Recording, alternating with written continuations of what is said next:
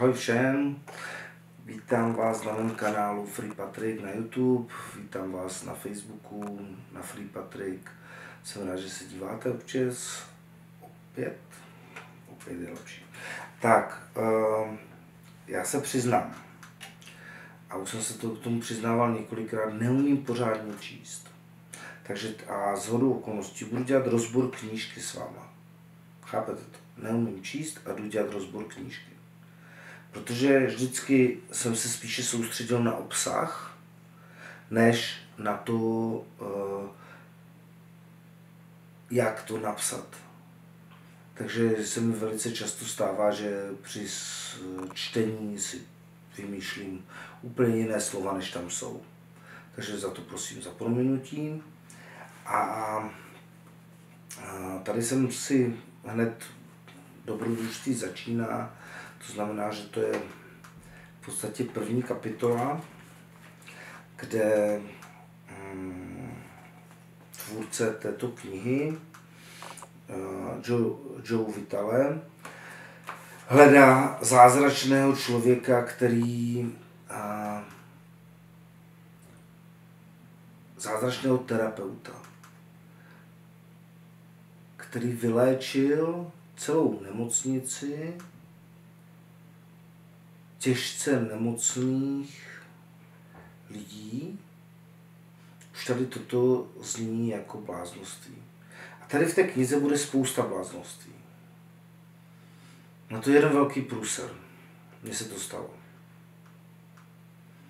Mně se stalo všechno, co se píše v té knize a mně se stalo všechno ještě více. Je to neuvěřitelné. Od toho, že jsem začal léčit lidi, od prostě po to všechno, tak když jsem poprvé slyšel, že nějaký a, ilekala, jo, nějaký doktor uh, nebo tak se to čte, nevím, jak se to čte přesně. Já vám to ukážu na kameru. Tady dole je jeho jméno, tak si to přečtěte sami. Doufám, že jste to, doufám, že jste to chytli. Já se mohu podívat na mobil, když, když se mi to tu nahrává.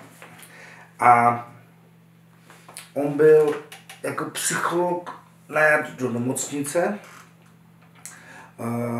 Ta nemocnice byla vlastně vězeňská nemocnice, kde šli těžce po narušení lidé, nevím, jestli o nich takhle můžu hovořit, ale v té době všichni takto posuzovali, takže pře, přebírám jenom to, co posuzovali ostatní lidi. Jako jo.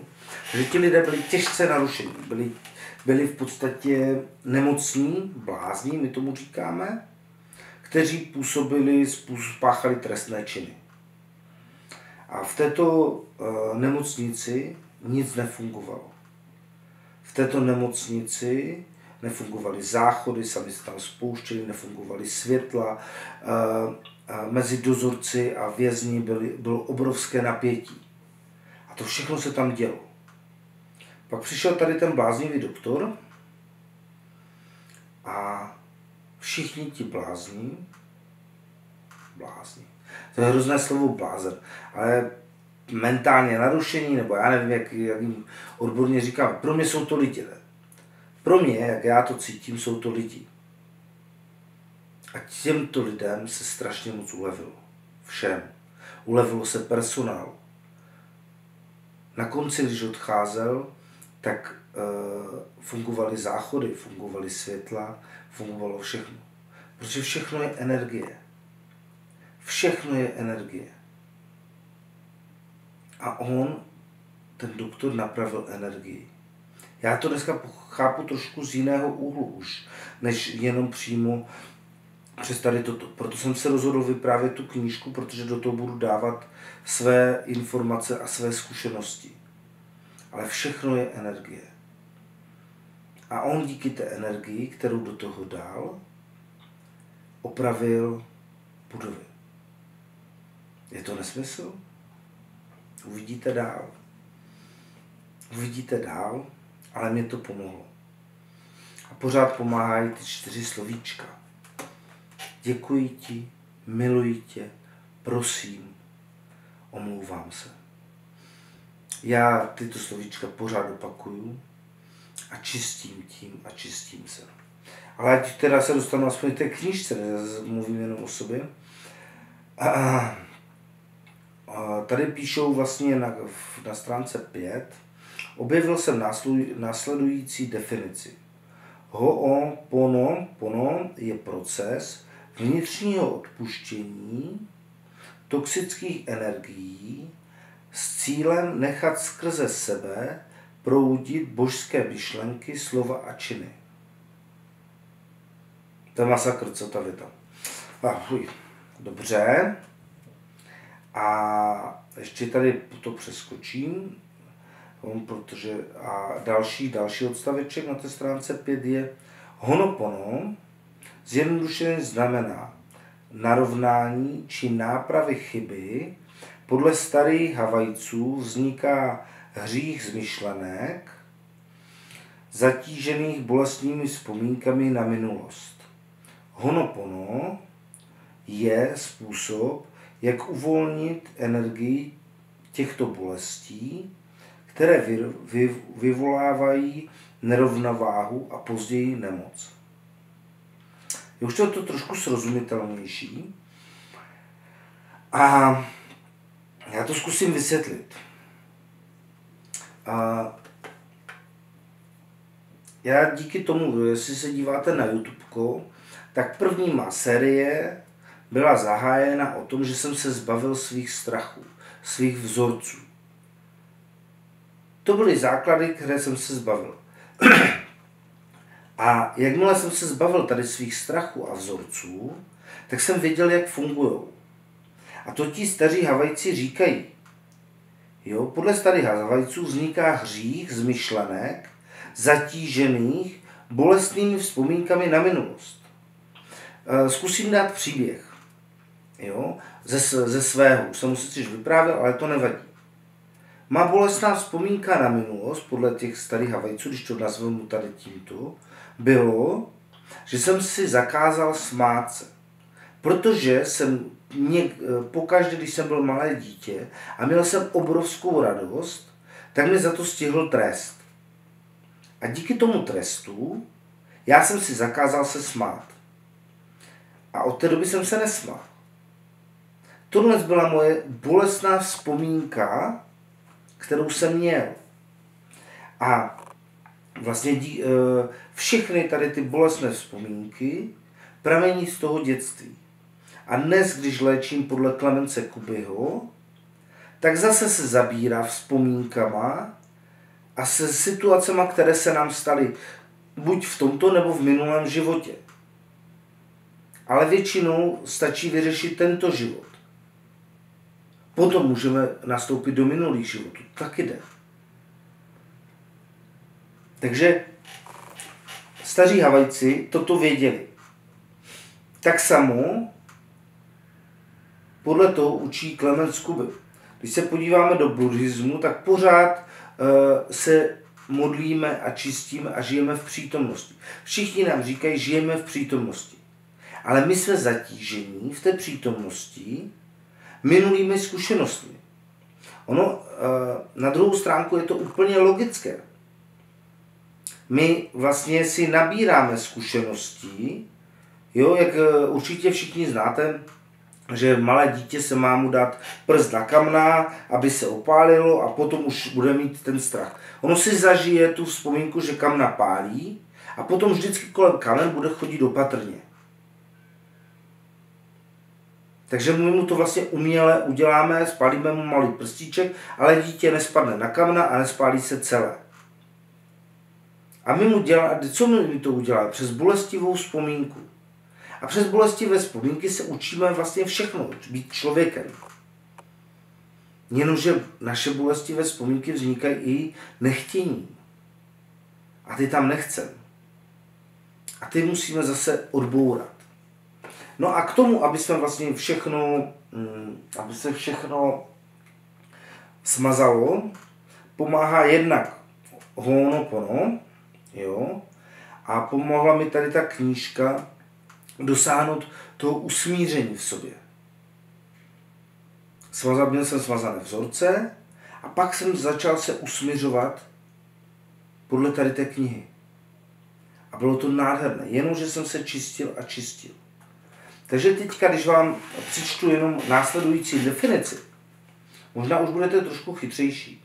Ho'onopono je proces vnitřního odpuštění toxických energií s cílem nechat skrze sebe proudit božské myšlenky a činy. Ještě vám to nedává smysl? Dobře. Zkusíme, zkusím to ještě vysvětlit takto. My jsme, celé naše tělo je složené z buněk. Buňky jsou složené z atomů.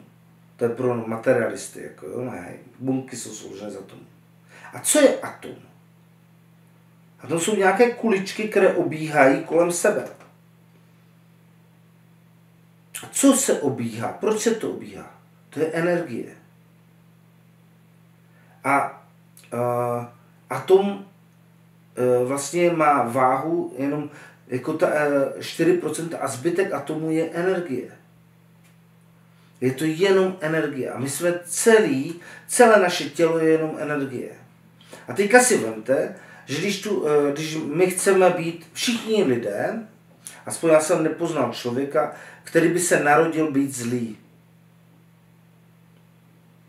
Dokonce, když jsem si četl Carnegieho, tak ten říkal, že i ten největší bratrovrah, sestrovrah, který zavraždil celou rodinu, když ho obklíčila policie, tak brečel a ptal se, a proč se to děje zrovna mě, já jsem tak hodný člověk. Chápete to? On si o sobě myslel, že je tak hodný člověk. Proč na něho všichni útočí? I když zabil několik lidí. Protože každý si o sobě myslíme, že jsme hodný člověk. A s tím se rodíme, že jsme dobří. No a teďka, ale my nabíráme negativní energie. A jak nabíráme negativní energie, tak si to vemte, já si to tady jenom trošičku se stlumím, to bylo asi moc, že? Takže tak. Jak nabíráme negativní energie, tak my ty energie v nás se e, točí prostě nějakým způsobem. Jo, doprava nebo doleva. A teďka si třeba můžeme uvědomit, že jedna energie, třeba pozitivní, se točí tak. Druhá energie, negativní, se točí naopak. A když my skáčeme na té sinusoidě, kterou nám tvrdili, že je normální, nahoru dolů, tak co se děje? My skáčeme na těch energiích. A tudíž jdeme dolů do toho. A takhle v podstatě se proti nám, my jsme, my jsme šťastní, tak se roztočíme takhle a do toho přijde nějaký průstor, tak se to točí a teďka se to nás ve všech, se to v těle bije. A my jsme, celé tělo je energie. Protože v každém tom malém atomu obíhá energie. Všechno je to energie, energie. V celý vesmír je propojený energií. No a díky těm čtyřem slovíčkům, které uvádí Honopono, čistíte tu negativní energii. A já, já se mi se to aspoň stalo. Já jsem ji začal čistit a čistit a čistit a čistit. A díky tomu, že jsem dokázal vyčistit svou energii, se nemění jenom já, ale i moje okolí. Já najednou nepotkávám negativní lidi. Dokonce ti, co byli tady negativní, myslím na tebe, Jiří. to bylo pro kámoše jako výborný člověk, já ho mám strašně rád, ale dělám si s něho strašnou legraci. A ten člověk byl negativní a dneska, když se na něj člověk podívá, je to úplná změna. Všechno se mění kolem vás. Dál vysvětlím, proč se to děje. To je v dalších kapitolách v této knihy popsané. Proč se to děje a proč se mění všechno. Takže, dobře, výborně. Kecal jsem 15 minut o první stránce, o tady, jo, prostě jsem si vybral jenom dva odstavce. Takže doufám, že to se mnou vydržíte, protože to bude asi na dlouho. A nicméně děkuji vám, že jste se dívali. Doufám, že jsem vám něco objasnil. Pokud nebudete něčemu rozumět, budu rád za vaše jakékoliv informace, které mi napíšete, buď na YouTube, na Free Patrick, nebo eh, mi eh, napíšete na Facebook, na Free Patrick. Eh, budu rád, že jste se dodívali, tak tam dejte ten palec nahoru nebo dolů, jestli vás to zaujalo nebo nezaujalo. Každopádně to, že jsem hned natočil další díl, mi pomohlo to, že mi před chvilkou napsala paní, která řekla, že prostě se těší na další díl a mě to dělá radost. Takže mír ve mně a mír ve vás. Mějte se moc, moc, moc krásně. Ahoj.